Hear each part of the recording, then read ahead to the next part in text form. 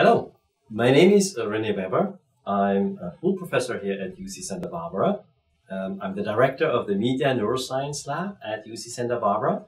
And part of our research in our lab is about narratives and persuasive messages. So the question is, what is an engaging message? It turns out that if we look into what makes messages engaging, that moral information plays a crucial part if something touches on moral conflict, moral violations, where people are treated, for example, unfairly and unjustified, that is something that is relevant for you and that makes you act upon the content of this message.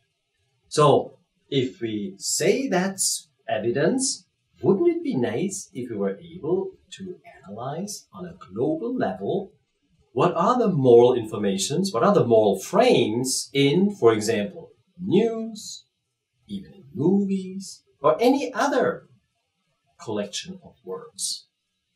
That's what we do in our um, lab with the so-called MONA project. MONA stands for Moral Narrative Analyzer Project. What we do is, in one component of this MONA project, we capture global news. So what happens right now in the news globally, we do this every 15 minutes across the day and capture what is news content in that moment.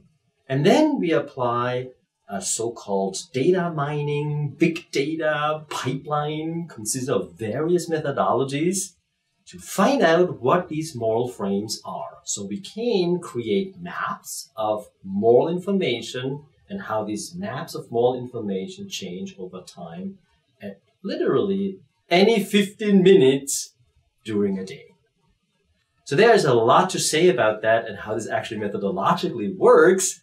And here's where I refer to Freddy because Freddy is one of our five lab members who is primarily involved in this research. So, Freddy, why don't you come over and talk a little bit about the methodological details? Hi, so thanks for the introduction from Rene Weber. My name is Frederick Hopp, and I'm a graduate student in the department here at UC Santa Barbara, Communication, also a lab member of the Media Neuroscience Lab.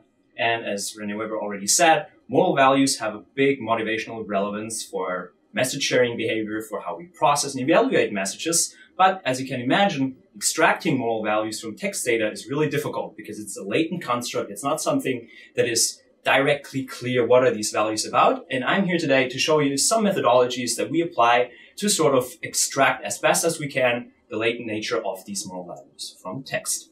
To extract moral values from text, we developed the Moral Narrative Analyzer, which is an online platform that combines both human coder training as well as content analysis procedures. And after a substantial experimentation, we found out that a simplified coding task in which humans simply use a highlighting tool to annotate text works best to extract more information from text.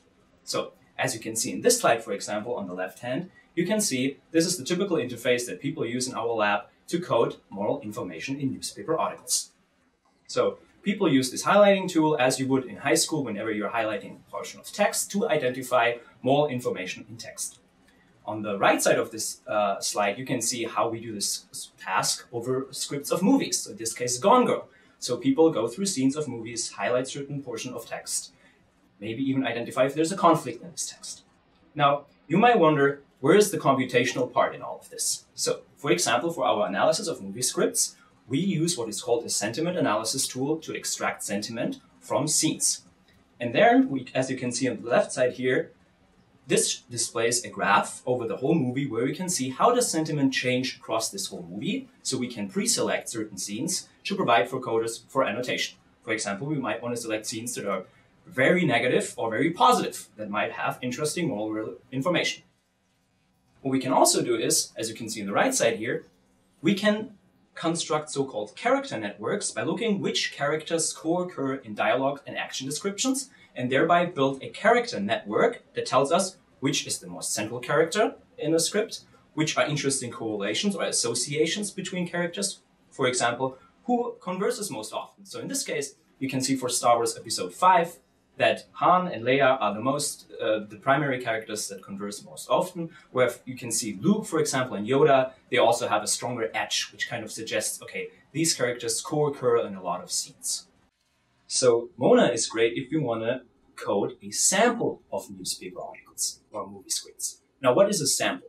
Think of a sample as something as a small selection of the bigger part. Okay, so the big population of news articles means every news article that is out there in this world. Now, we cannot possibly code every newspaper article that's out there in this world with humans. Why?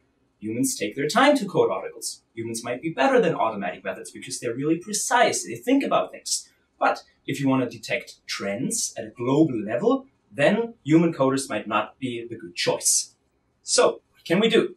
Well, since we extract more informations in a word sequence form, so remember people highlight text in our Mona system, we can aggregate and transform these highlights to build so-called moral dictionaries. Now, you might wonder what exactly is a moral dictionary? Think of it this way. As you can see here on this slide, we have certain words that co-occur with certain moral categories. What does co-occur mean? This means that our coders highlighted these words more often when they were given a certain moral category to focus on. So, for example, the fairness category, you can see the word fraud. And I think we all can agree that fraud suggests cheating, right?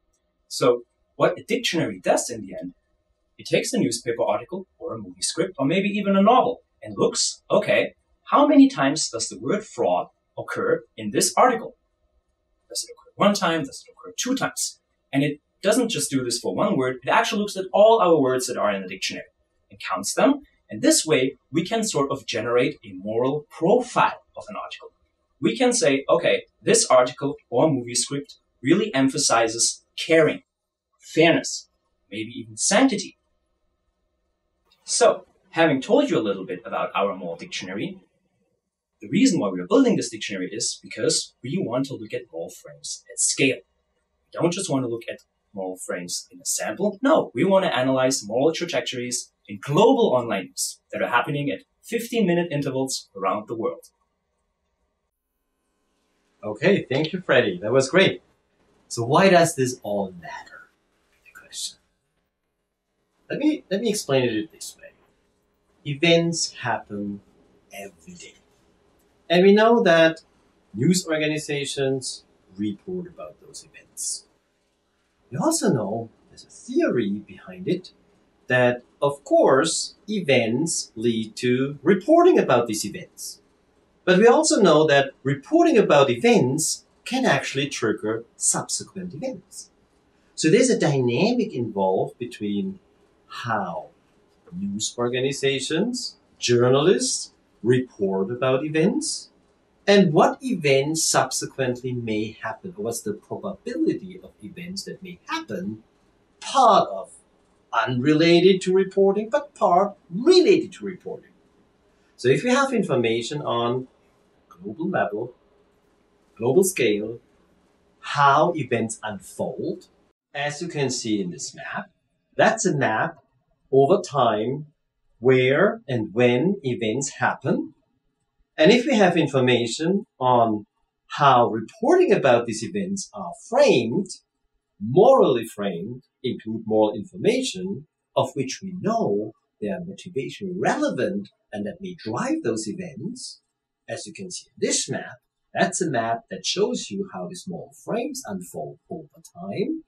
We can apply some statistical advanced magic called spatial temporal modeling and extract relationships between these small information, within these small frames and events that happen. That we can predict reporting out of events that should work right? because people report about events. But the interesting question is, is it possible that we actually use the reporting and then predict the probability of subsequent events.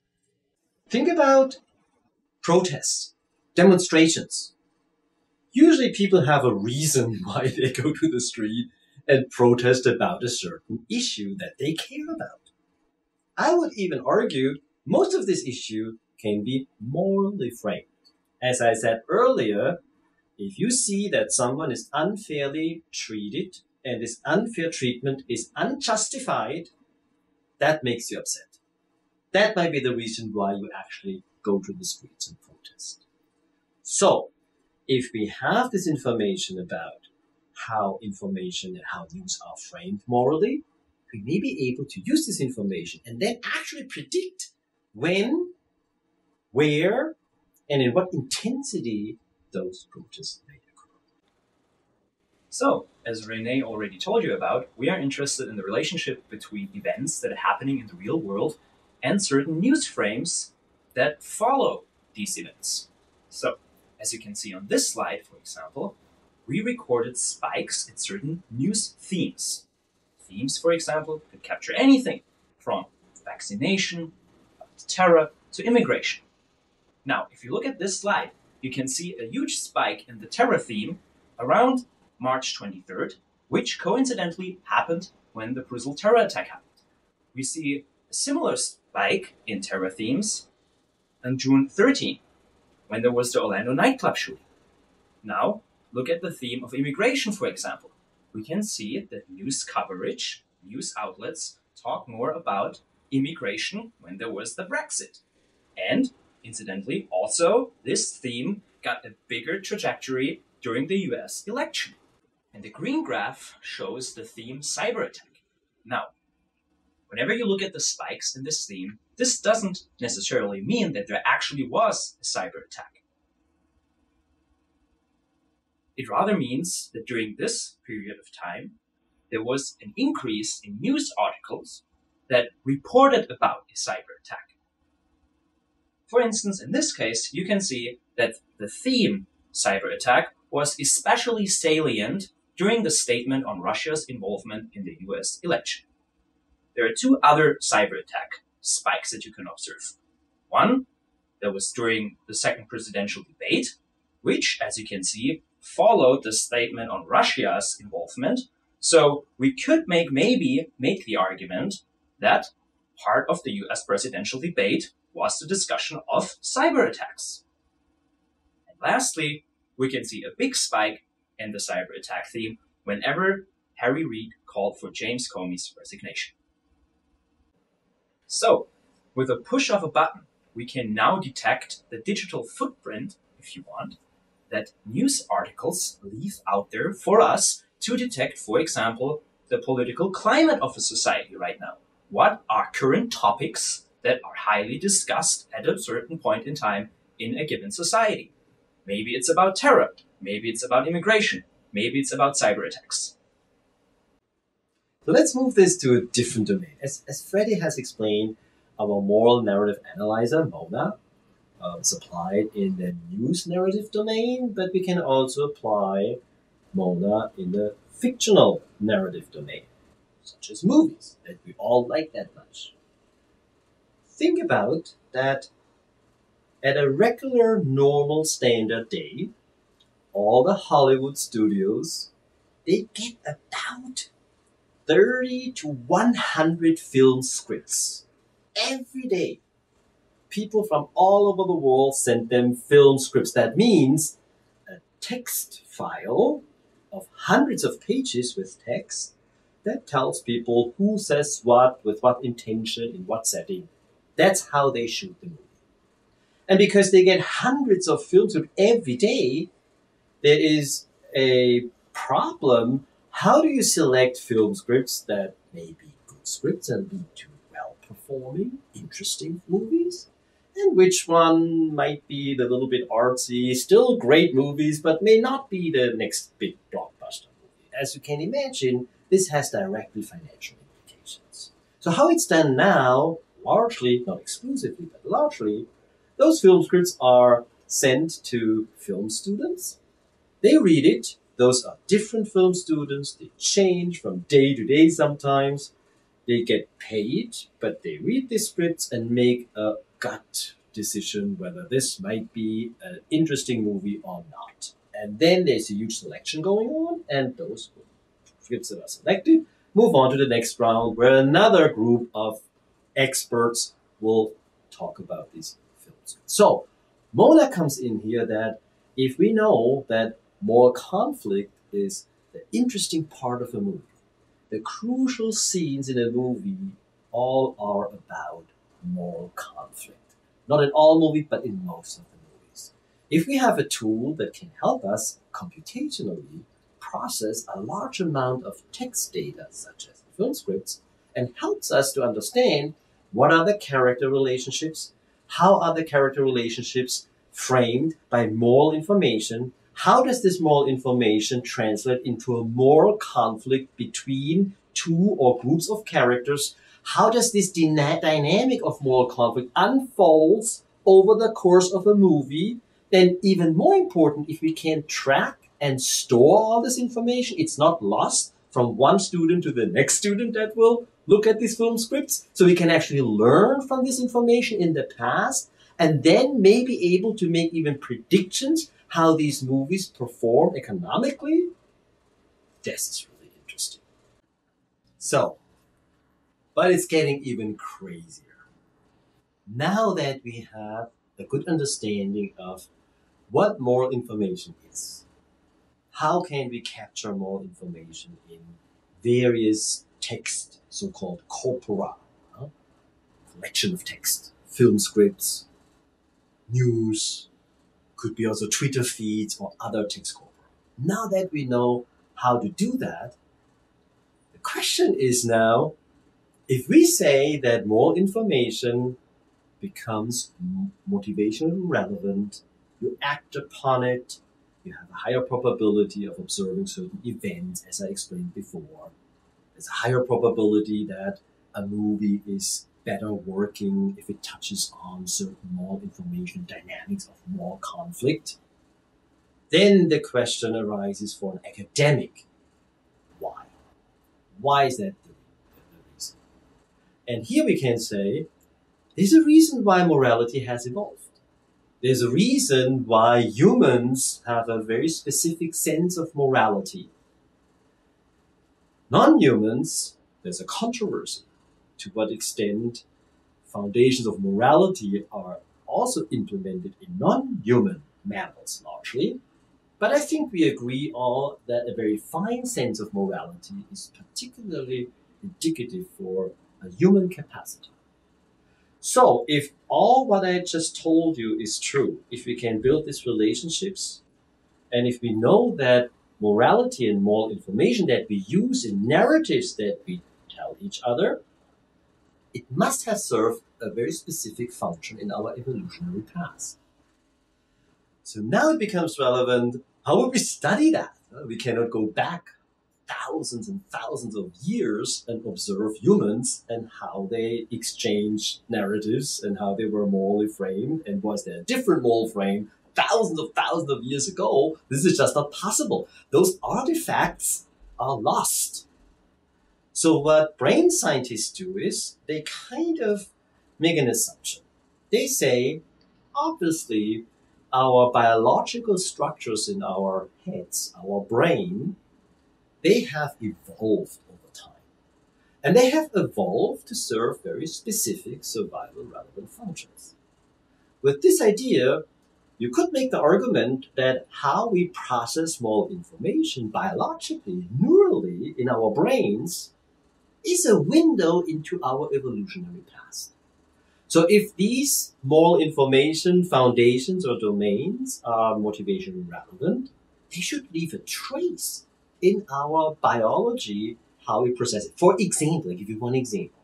If it indeed is true that we evaluate moral information along those foundations, Freddie mentioned fairness, there is also an authority domain, there's a purity or sanctity domain, It's a harm domain, It's a loyalty domain.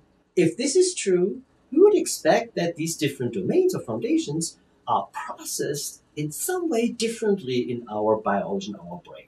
So the question is, are there dissociable networks that process this information differently?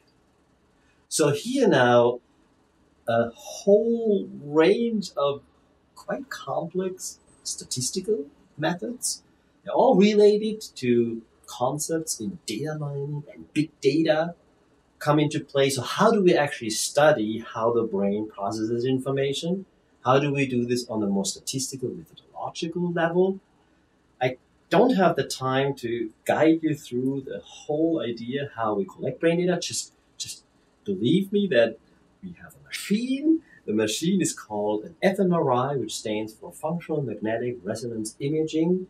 It's a machine where there is a tube and you go into this tube and it, it captures slight magnetic variations that are induced by essentially how much energy you use to process information in your brain. And then once we get all this data, now Freddy comes in again because he will do all the analyses and can give you a little bit more detail how we actually process this information. But I can tell you already with this work, we are able to find and identify that indeed those different moral foundations are processed indissociable, which means in different neurological structures, which gives us some hint that indeed there is a biological foundation of what we are doing here. So, my last thing that I'm saying, let's say we can make the link from our, we call it behavioral world, where we look at, you know, how content unfolds, how events happen, how people behave, to the neural world, how our biological structures, our brains processes information. Would it be cool if we can actually use the biology and variants generated in our brains to predict behavioral outcomes in the real world? This sounds really crazy, I know, but there is a new procedure, a new paradigm, if you want, that became some traction within the last three to six years. It's called the brain as predictor approach that actually uses information on how you process stimuli out there in your brain and uses this variance generated in your brain to predict subsequent future behavioral outcomes of the person you measure, but even more crazy, even per uh, behavior of people unrelated to the person you actually measure their brain responses to messages. So this all what we explained is sort of a research program. It all links together. There's much more to say to it. In a little bit, Freddy can talk more about how we actually do the brain imaging. So I explained you our procedure how we extract moral information from text. Now let's talk a little bit about how do we measure moral information is presented in the brain how do we measure how moral information is decoded and encoded in our brains? So, to do this, as you can see on this slide, we set up an fMRI experiment in which participants, while they underwent fMRI scanning, were reading about different moral violations. For example, in this case, you can see that the participant read, You see a girl ignoring her father's orders by taking the car after her curfew. And then we had participants simply rate, well, is this extremely morally wrong? Is this not so wrong? And after doing this, we ask ourselves, okay, while people read these so-called moral vignettes, they're examples for specific moral violations, how do we find out which brain regions were activated while people read these vignettes? And here again, computational approaches help us to find out which regions corresponded to a certain stimulus, in this case our moral violation examples, we train a so-called machine learning classifier. This classifier essentially learns, okay, here is a brain activity pattern. What was the stimulus that the participant was presented at this specific point in time? So the machine learns, okay, here's some brain activation, and here's a stimulus. Now, we teach the machine this association across a certain proportion of our data. And once the machine has learned this association, we then test how good does this machine classify new brain activity.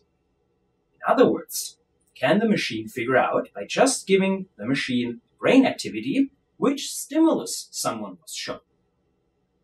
And if this classification is above chance, so above 50%, then we say this was a successful classification.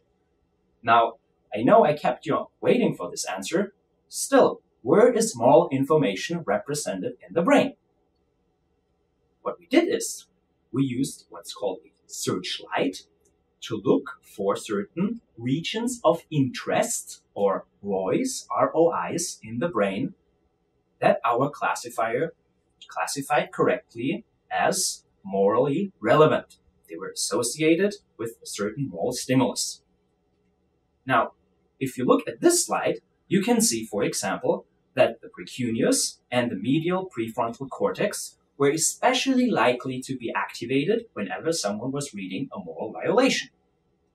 On the right side, you can also see that there was some activation in the insula and in the temporal lobe. Now, we did one last analysis. We can group moral values into a category that focuses on group cohesion, hierarchy structures, and cleanliness. And these moral values are called binding moral domains. And there are also the individualizing moral domains, which are care and fairness. They stress the importance about individual freedom. And we know from the literature, for example, that conservatives and liberals value these two different categories differently strong. So we know that conservatives value the binding domains more strongly and that liberals value the individualizing domains more strongly. So it's really interesting if you think about it that conservatives and liberals sort of have these differences in what they perceive as important moral values. Conservatives value the binding domains more. What does binding mean? Well, over evolutionary history, it was really important for us that we stay together in a group. So these moral values enforce group cohesion. They enforce that we stick to our tradition, to our hierarchy structures, but that we also stick to cleanliness, for example, to avoid the infection with pathogens. So, what about the moral values of liberals? Well, turns out that liberals value the individualizing domains of caring and fairness, which primarily are about upholding the individual, the freedom of the individual, that we care for one another, that we exchange, that we engage in fair exchanges. And it turns out that liberals value these domains way more than the binding domains of loyalty, authority, and purity.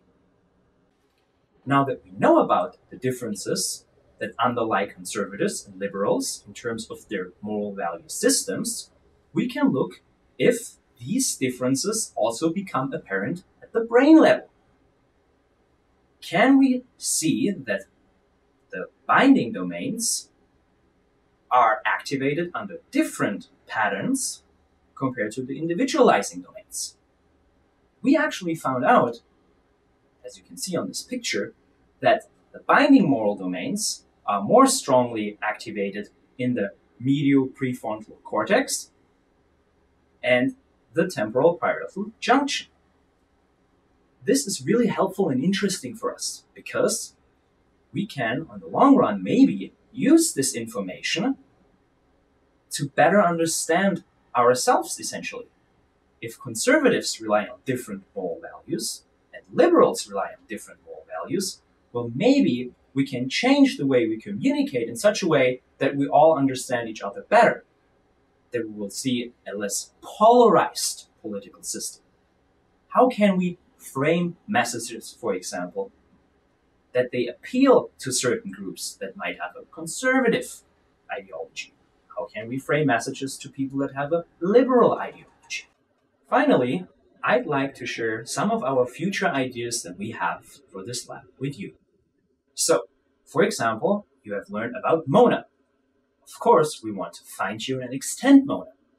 We want Mona not just to code moral information in newspaper articles, movie scripts, but maybe even in political speeches or in books, novels at some point.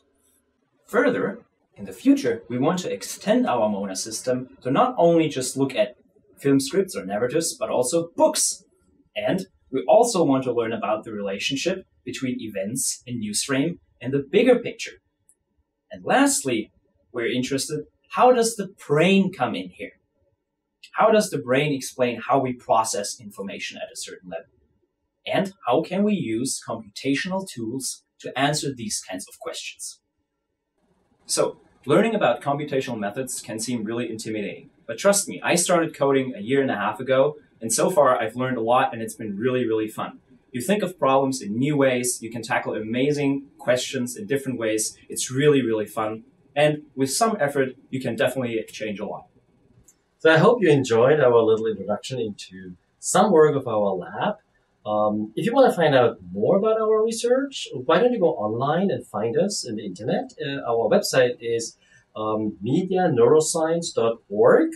And as Freddie said, um, some of the things we do here sound difficult, and I'm not saying they're not difficult, they are difficult, but you can do it, you can learn it. And who knows, if you're interested about this research and you find it's relevant and important, someday you may be a graduate student here in our lab. So I encourage you to go to our website and find out more and think about a career in communication, media psychology, and cognitive neuroscience. That's what the Media Neuroscience Lab bundles together as a new, from our perspective, exciting research.